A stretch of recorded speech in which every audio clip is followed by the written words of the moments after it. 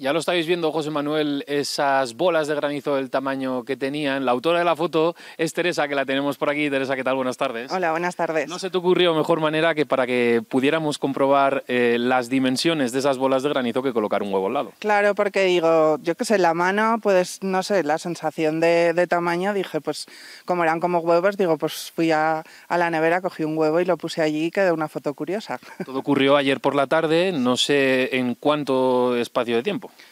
Pues empezó sobre las seis y duró un cuarto de hora, una cosa así. Vino primero una embestida muy fuerte, con granizo muy seco, luego parece que paró y luego otra vez vino otra vez con bolas otra vez muy grandes y más o menos es un cuarto de hora o así terrorífico. ¿El granizo vino acompañado también de precipitación o fue como una granizada seca y, y aislada de, de solo pelotas de granizo? Al principio era solo granizo seco, luego sí que vino ya con más agua y ya se mitigó un poco, pero ya no daba tanto miedo. Cuando eran al principio bolas secas sí que era horroroso.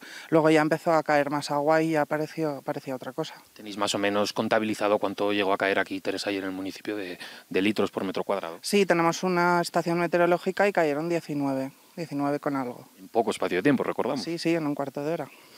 Otro de los vecinos que estaba por aquí es Pablo. Pablo, no sé cómo viviste tú, dónde te cogió a ti esta granizada. Pues eh, fue un recibimiento un poco tétrico. Llegar aquí de vacaciones y tener que aparcar enfrente de la, del apartamento y salir con un paraguas corriendo a la puerta, porque caían bolas del tamaño de huevos. Lo hemos visto, Pablo, eh, también los compañeros de otros programas han estado aquí esta mañana, eh, se ha roto alguna que otra claraboya, como bien decías, también algún capo de un coche, alguna luna también.